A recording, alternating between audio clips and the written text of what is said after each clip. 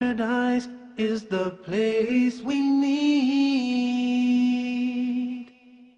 I feel the peace inside of me.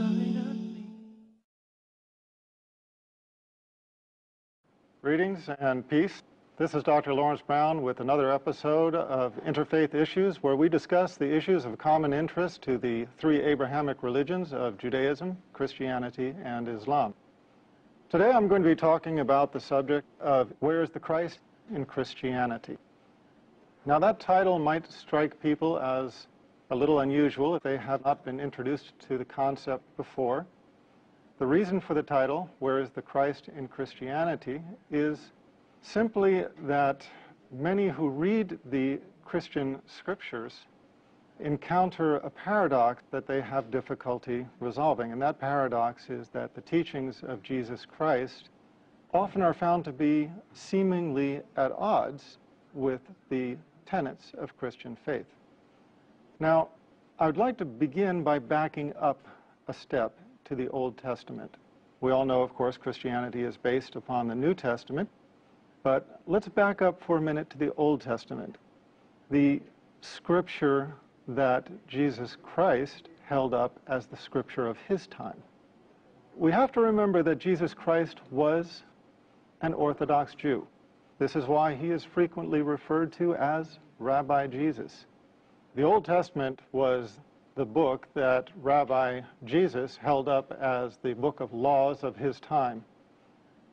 These were the laws that he taught to his disciples and so it is important for us to take a speculative look at the Old Testament. Let's begin with Genesis 32, where it is recorded that Jacob wrestled with another man? No. Uh, an angel? No, although it might say that in the translation. No, it's actually written that Jacob wrestled with God.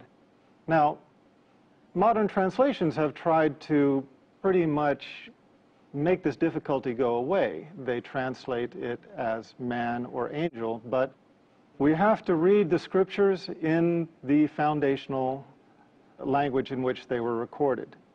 And when we do this, we find that the Old Testament records that Jacob wrestled with God. Now, let's put this into perspective. Our universe is vast. How vast exactly is it? Well, take 240, add 21 zeros after it, and that's how many miles the universe is in diameter. 240 with 21 zeros after it is seven sets of three zeros with commas. It's a number so vast, I'm not even sure if anybody knows the name for it. And on top of that, within this known universe, we have over a billion galaxies and the universe, despite its vastness, is still expanding at 90% the speed of light. Now, this is creation of our Creator, and we are to believe that Jacob, a man, wrestled with the Creator of this vast universe, not only wrestled with him, but as the Bible records, prevailed. It records that Jacob prevailed in wrestling against God. Now, as I said, modern translations have tried to escape from this difficulty by translating that Jacob wrestled with an angel or wrestled with a man. That's not what the foundational scripture says. And we have to look at the foundational scripture if we are going to get a true feel for the accuracy of these writings. Now, Unreliability is a recurring problem in the Old Testament. One of the largest examples of unreliability is to be found in 2 Samuel 24, 1, compared with 1 Chronicles 21, 1. In 2 Samuel 24, 1, it reads, quote, Again, the anger of the Lord was aroused against Israel, and he moved David against them to say, Go, number Israel and Judah. Fair enough. What did it say? The anger of the Lord. and he moved David. What does 1 Chronicles 21.1 say? Quote, Now Satan stood up against Israel and moved David to number Israel. Here we have two passages describing the same historical event in very clear, unequivocal language. One speaks of God, the other speaks of Satan. Now, we have to ask ourselves at this point, is there any possible way to rectify this?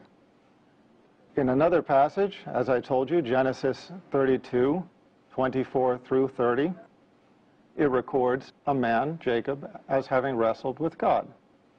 Here we find two passages, one speaking of God, one speaking of Satan, describing the same historical event. In both of these passages, there is no possible way to rectify this inconsistency. So, which was it? Was it the Lord or was it Satan? We don't know. But what we do know is that it renders the Old Testament unreliable as a book of Scripture. As God is all-knowing, all-powerful, perfect, and all-reliable, he does not make the simplest of mistakes. A human being might, and we have to assume, okay, maybe this mistake came from a scribe, but if the revelation has been passed down to us in this time, with these errors existing within the text, and we cannot trust that portion, then what portion can we trust? Now, Christians would like to believe that the New Testament is free from such errors. Christians would like to say, well, okay, that's, you know, that's, that's Old Testament. Let's not worry about that. We have the New Testament we don't base our faith upon the Old Testament. That's of historical significance because the New Testament replaced the Old Testament. Well, it's a fair enough argument if it bears water. And in order to analyze that, we have to look at the New Testament and consider whether or not there are similar inconsistencies. So let's do that. To begin with, where Jesus and his family allegedly fled when they were persecuted, one gospel, Matthew, records the family having fled. Another, Luke, records the exact same scenario. One records the family having fled to Nazareth. The other records the family having fled to Egypt. Matthew 6, 9 through 13, Luke 11, 2 through 4, they differ over the wording of the Lord's Prayer. Now, Think about what this means. We're talking about the Lord's Prayer. We're not talking about a little esoteric, little known uh, prayer. We're talking about the Lord's Prayer, the most commonly quoted Christian prayer in the world throughout the history of Christianity. And yet we have two different versions of it. It is described in two Gospels, and the wording does not agree. How much does the wording not agree? Over the last several years, the Jesus Seminar has compiled over 300 fellows of the Jesus Seminar. These are leading Christian scholars who represent their various faiths. They are at the top of the academic and the theological field, and they analyze the Christian scriptures. They analyze the foundational manuscripts not the ones that we read in our translations into whatever language. No, they analyze the manuscripts in their original language. How big is the difference between the two versions of the Lord's Prayer? It is so large that the Jesus Seminar agrees that the only word Jesus Christ reportedly stated that they can agree upon that he stated was Father. Now we're talking about the prayer that starts, Our Father who art in heaven, hallowed be thy name, da da da da da.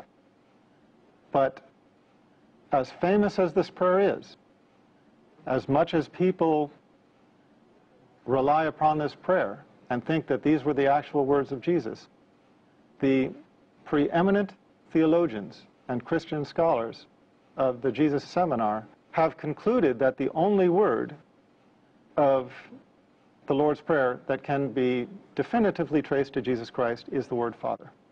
So this gives us some idea of the problems that exist in the New Testament as well. Matthew and John disagree over another point of critical importance. In Matthew 11, 13 through 14, and uh, chapter 17, 11 through 13, uh, and John 1, 21. These two Gospels disagree over whether John the Baptist was Elijah or not. In one case, John the Baptist described as Elijah. In another case, he is disavowed as Elijah. Again, you can't have it both ways.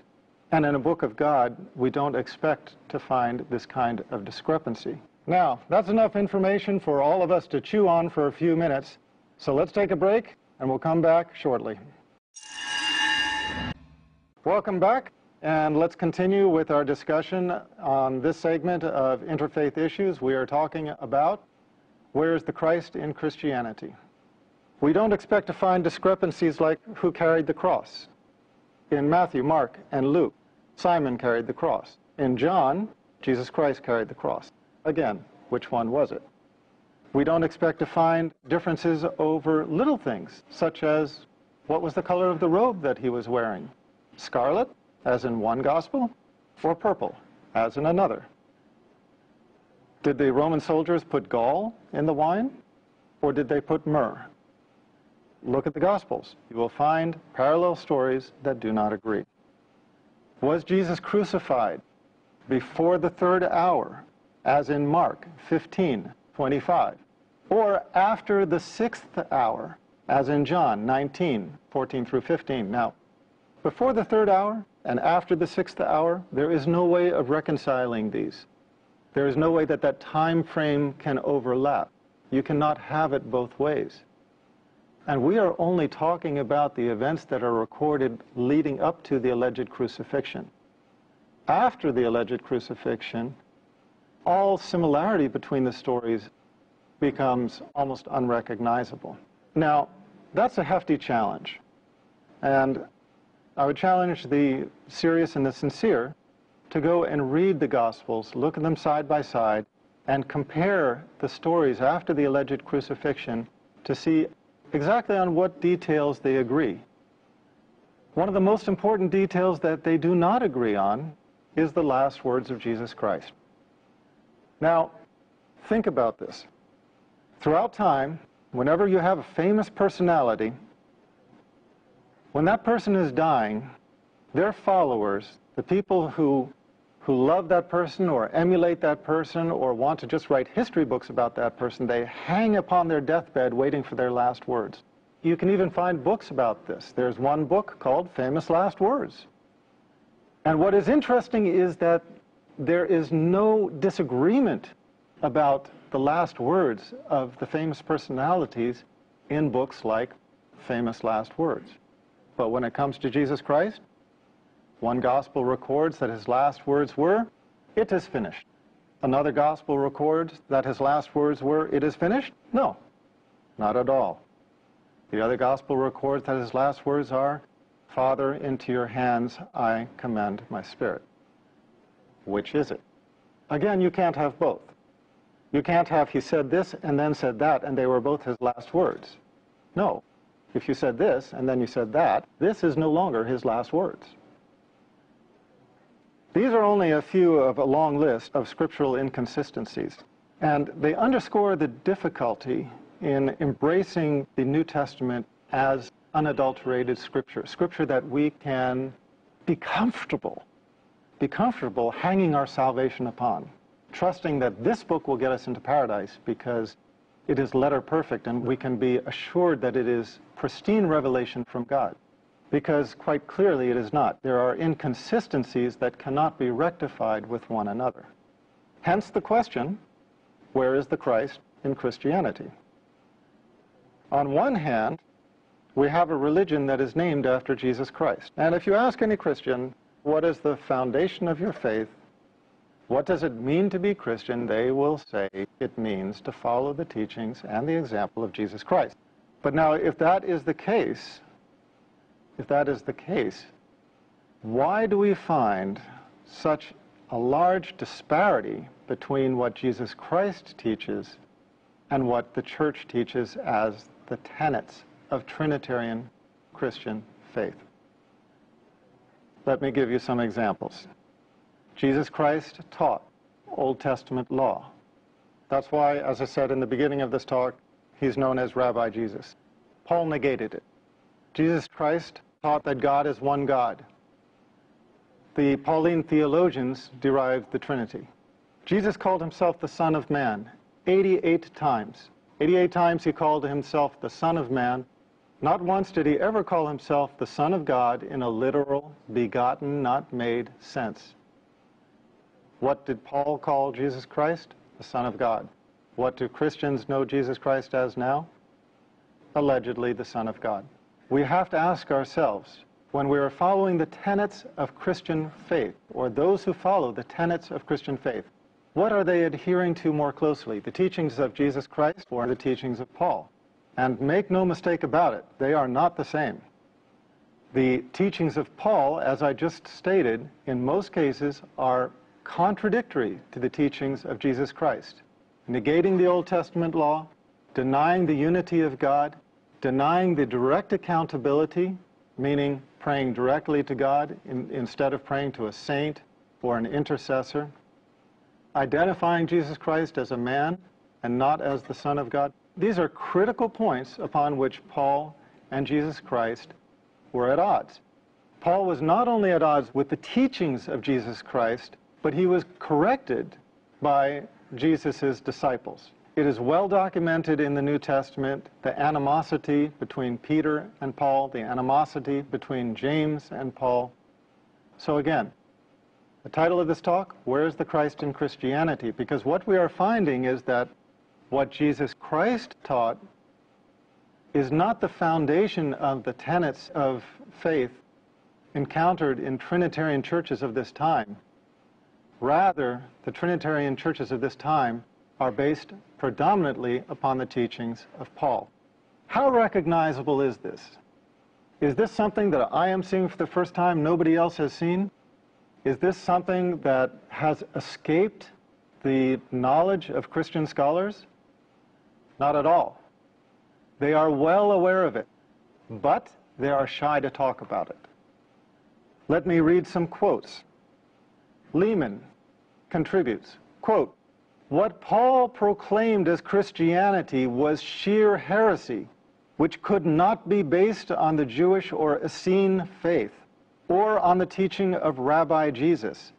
But, as Schonfield says, the Pauline heresy became the foundation of Christian orthodoxy, and the legitimate church was disowned as heretical. Was this only to be found in the writings of Lehmann? No. Bart D. Ehrman, probably the leading scholar of biblical textual criticism alive today, speaking upon this very subject, commented, quote, Paul's view was not universally accepted, or one might argue, even widely accepted. Even more striking, Paul's own letters indicate that there were outspoken, sincere, and active Christian leaders who vehemently disagreed with him on this score and considered Paul's views to be a corruption of the true message of Christ. One should always bear in mind that in this very letter of Galatians, Paul indicates that he confronted Peter over just such issues. He disagreed, that is, even with Jesus' closest disciple.